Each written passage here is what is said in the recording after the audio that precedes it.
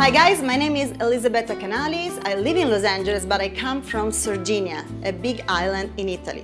So today I've been chosen to be a representative of the World Week of Italian Cuisine and I'm gonna prepare one of the most famous dishes in Italy. So this is the branzino. I will add some black olives from Cerignola and these olives are very famous. Some bay leaves. One of the most important elements to cook branzino is for sure the extra virgin olive oil.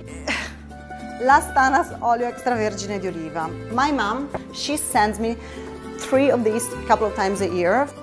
Then we're gonna use some white wine, salt, and I think that's it. So we go ahead, we put some oil. Garlic is very important. Some people don't like garlic. I love garlic personally. So now it's time to place the fish.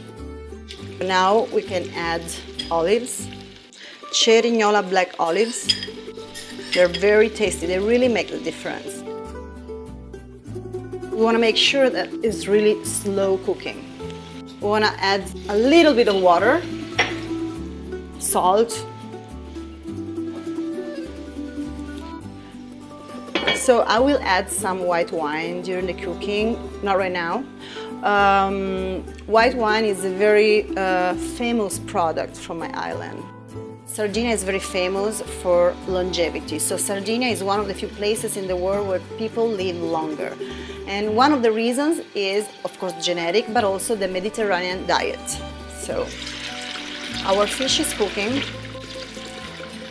We want to add a little bit of wine Today I decided to use something that I really, really love, which is uh, riso, rice, uh, arborio. Arborio is a, a typical rice that comes from Sardinia.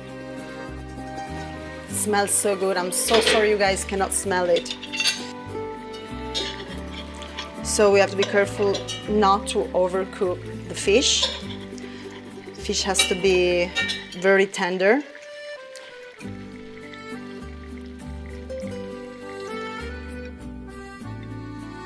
The rice is simply boiled and I just add a little bit of olive oil.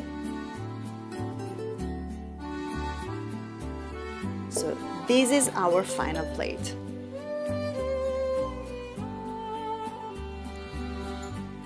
Mm. It's very good.